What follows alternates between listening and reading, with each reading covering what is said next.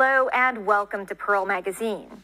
The COVID 19 virus made its way across the planet in 2020, crippling economies and throwing millions out of work. For musicians in Hong Kong, it was the year the music stopped. While every industry was affected, those making a living in music were suddenly out of work as venues shut down and live gigs were banned. You want to make the world a better place, take a look at yourself and make a change. I'm starting with the man in the mirror. I was so happy back then. I was enjoying it. no message could have been. Yeah, it's like every night it's like, yeah, this is what I want.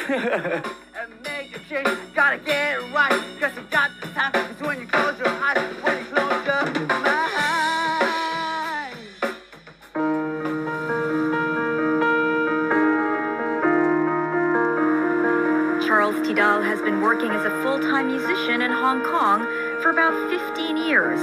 Last year, live music was banned as the pandemic wound its way through Hong Kong. Oh, man, it was depressing because um, there's no job, you know. Uh, it feels unreal, you know, like for uh, for how many weeks and months, you know, when the lockdown started, and we have no gigs, we can't do, you know, we have no job. I have no job. It was hard, especially for uh, paying rent, providing for uh, family, you know. He did some part time work for a few weekends, working for an office building, checking people's temperatures in a lobby. It didn't last long. I sent some uh, CVs from uh, an- anywhere uh, online, and nobody actually called. I don't know. Um, yeah. It was hard. Honestly, I had some breakdowns, you know, back then, uh, last year. Yeah. Being like jobless it feels like a bomb, useless, you know. How did you survive? One thing I sold my instruments. I had five uh, bass guitars, so uh, four four of them I, I sold it for for my you know rent and you know basic necessities and all. It's what it was tough, you know. It was it is tough until up to now, you know. Actually, The breaking point was when he was evicted at the end of the year. I had a hard time to uh, pay rent. I borrowed money from friends just to get by, you know, for that month and month and month and month. Until finally I got kicked out on December. Yeah, it was. Ah. I almost got homeless, actually. Yeah. Desperate, he borrowed more money to pay for a cheaper place, and he forked out money to buy a bike and pay the registration to work for a food delivery company. Sometimes I do eight hours, sometimes I do 10 hours, sometimes I do six hours. It, it depends on, on, on the ava- availability of, of, of uh, shifts. But it's not cheap delivering food. He's gone through three bikes. His first bike broke down beyond repair after a few weeks. A friend who was leaving Hong Kong gave him his bike, but it was stolen four days ago. It's a very, very good bike. It's an old model, but very good. But it got stolen for after like a month after, I guess. Yeah, at my home, outside the hallway. After buying a third cheap bike that didn't make it through the month, he finally invested in a good bike. How much did you spend? um, like three grand. It's still uh, entry level, but it's so okay. it's so okay right now, and it's and it's light. it's lighter. I got a lock right now. Yeah. He works the graveyard shift. Usually, um, I start at 10 in the evening until like uh, 6 or 7 the, follow, the following morning. The graveyard uh, past midnight. It's better, actually, for me. People are hungry at midnight, you know? yeah, there are a lot of uh, orders. He says that what he makes in a day now, he used to make in an hour or two as a musician. The last year, he says he felt so down that not only did he stop playing music for pleasure, he stopped listening to it. Uninspired, you know, it's like, I don't want to hear music. yeah, it, uh, it's like, I, I feel sad when, when I hear music. It hurts, you know. But a few weeks ago, he finally felt good enough to pick up his guitar.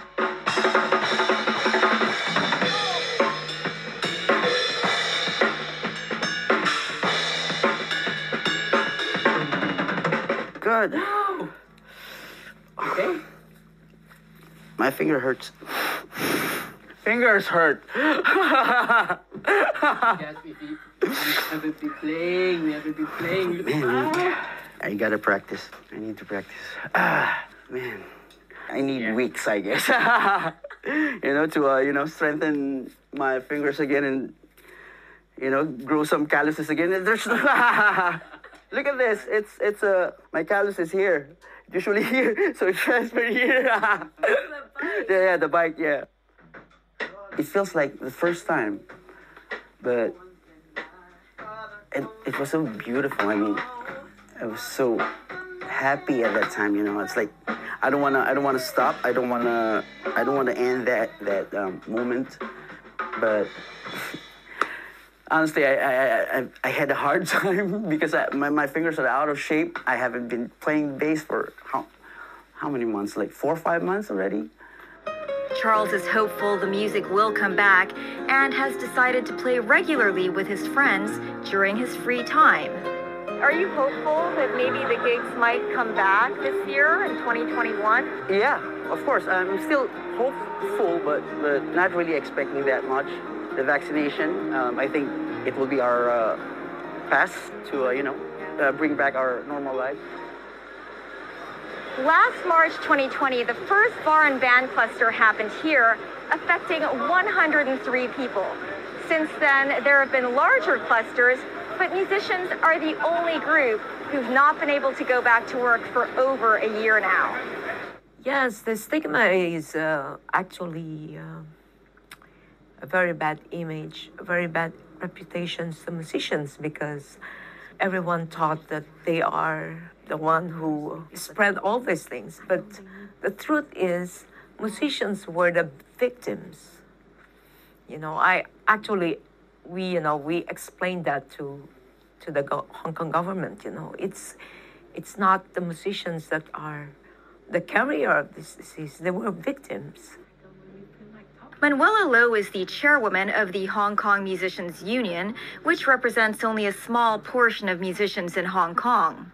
She's spoken to government officials along with other industry representatives about how to get musicians back to work. We help and propose all these precautions that musicians should do just to, you know, just to let them go back to work. You know, wearing masks on stage, partitions, not talking to, not mingling around before and after the show. We, we did all these uh, proposals to the government. Then they allow us to work again. I think it only lasted less than a month and we have the fourth outbreak. I feel so helpless. We feel so helpless because there's no other way we can discuss it with them again because, as we all know, everything is still closed. Chris B works as a live music organizer with her company, The Underground, and is a musician herself. She ran a survey last year to assess how she might be able to help those in need. A friend of mine told me there was a musician who was becoming homeless and he had a family, he had three kids. And I'm like, how is this possible? I was like, how many of them are there? The survey showed that more than 70% of musicians were using their savings to support themselves, and less than half were able to find work outside of music. She estimates that there are about 2,000 full time musicians in Hong Kong. We're talking about hundreds of musicians who um, borrowing money, living off their savings, many of them getting a different job, you know, that doesn't pay as well. And, and then to find out there was something like 6% are either homeless or being evicted, it was, it was actually a shock.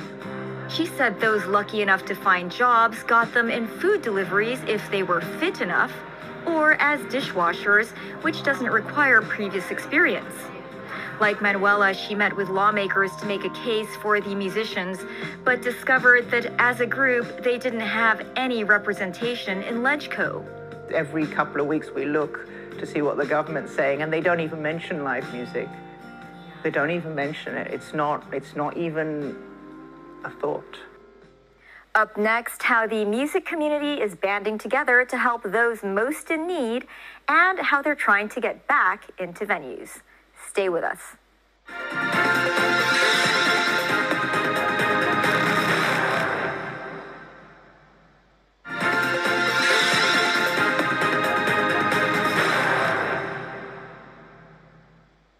Welcome back to Pearl Magazine. With most full time musicians out of work for over a year, just surviving has been a struggle as they compete with the masses of unemployed trying to get any work they can. The more fortunate in the community are doing what they can to help those most in need. One woman has launched a musicians charity, which she hopes will get funds to those struggling the most.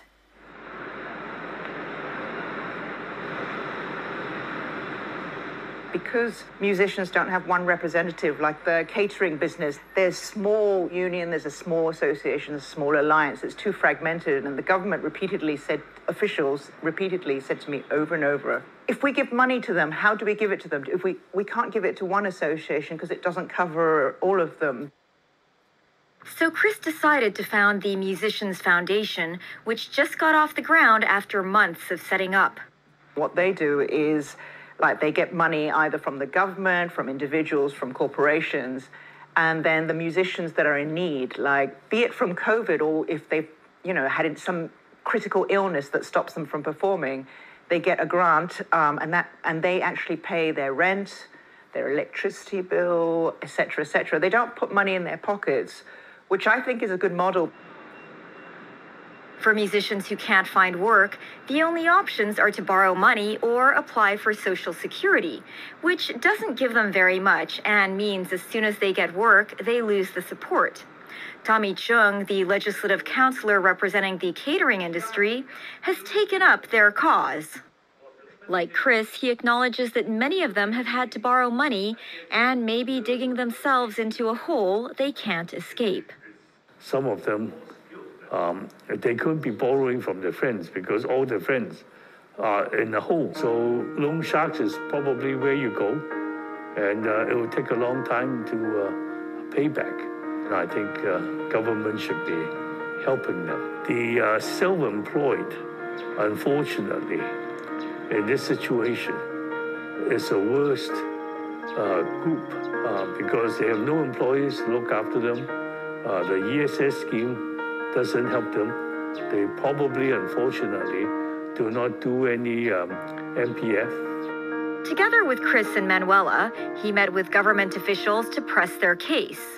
When they call, having not knowing who they could get the help from, I talk to them. I get government officials to meet with them. Um, when I talk to the uh, chief secretary who is responsible for giving out compensations and all that. Uh, I did uh, lobby on their behalf. Both Manuela and Chris met with Tommy and government officials to let them know musicians would self regulate with masks, partitions, not mixing with patrons, and COVID testing. So they're willing to do all that. And the government agrees that should be good enough, but they still shut them down. I think uh, they don't pay enough uh, uh, attention to all these um, workers, businesses, groups who have taken to do extra work to prevent spreading, you know, if they get infected. Meantime, various fundraisers for musicians are ongoing. The Musicians Union have invited these bands to film in their office today. Hong Kong Musicians Union uh, decided to do this fundraising uh, where you know most bands are um, plays uh, uh you know play play songs and for for YouTube for people to uh, watch and hopefully donate and so we can uh, help the the musicians that are jobless now.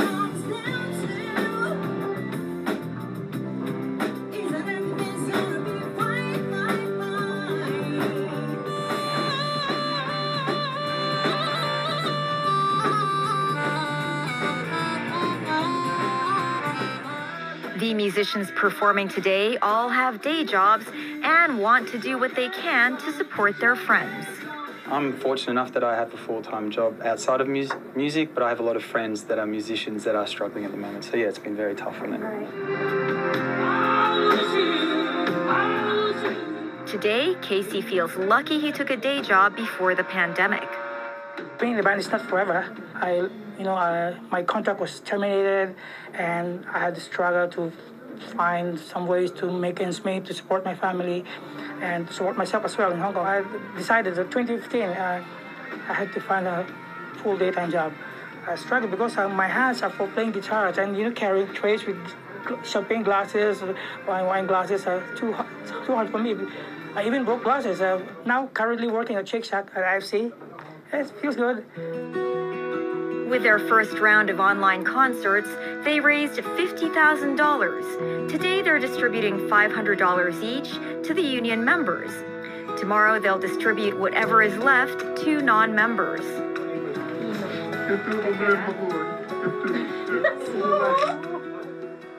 Voltaire Cosho, a Filipino musician in his 60s, was already struggling from bad health when the pandemic hit. Since then, he's lost his job and had to move into a subdivided flat with his wife and daughter. We're just like uh, sardines here when we when we sleep. So uh, this is uh, a sofa, sofa bed. Uh, have to extend, and then we have another bed there. This year, he began playing music on an online platform for three hours a day. Viewers who enjoy his music buy hearts and give them to him. Honesty is such a lonely word. Everyone is so untrue.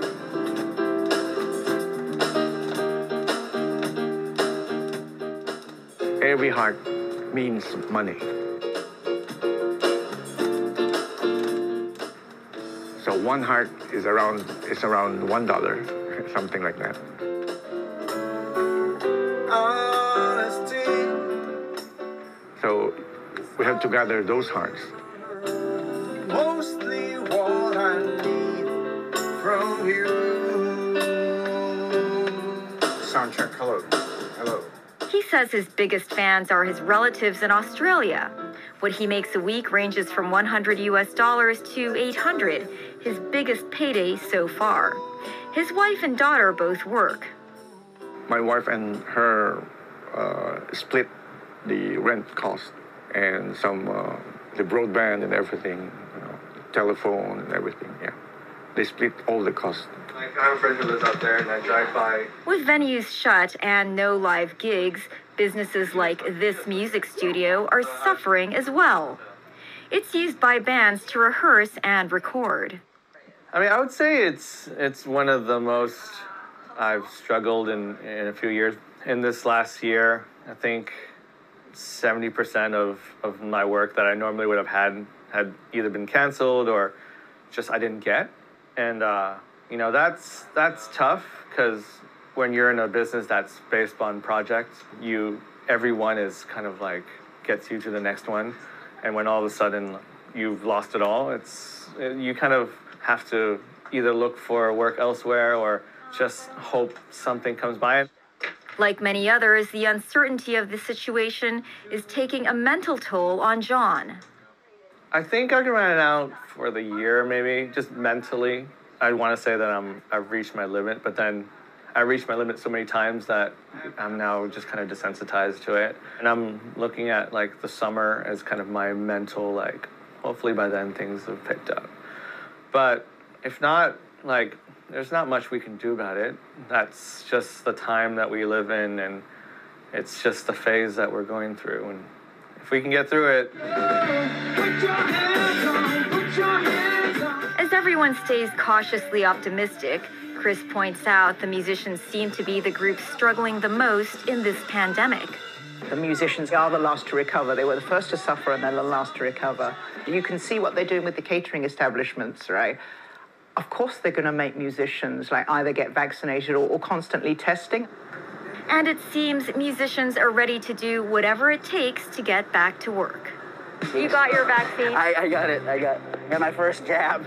Yeah. So, uh, yeah. And what about all your friends? Have they done the same thing? Yeah, all musicians, um, yeah, basically all musicians, hoping uh, these uh, vaccination will uh, get us back, you know, to, to work, you know. Yeah. Yeah. So I guess you guys are willing to do anything to get back to work. Yeah, yeah. whatever it takes, yeah.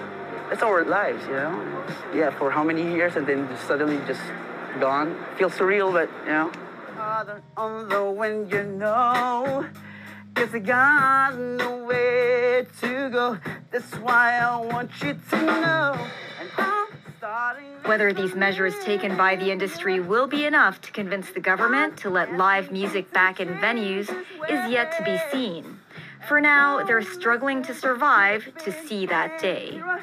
If you wanna make the world a better place, take a look at yourself and make a change. Yeah. Na na na na na na na na na. That's Pearl Magazine this week. Next week, as we celebrate Mother's Day in Hong Kong, we take a look at the predicament domestic helpers find themselves in when they're pregnant here. What do they do if they're out of work, and are their rights protected? See you then. Good night.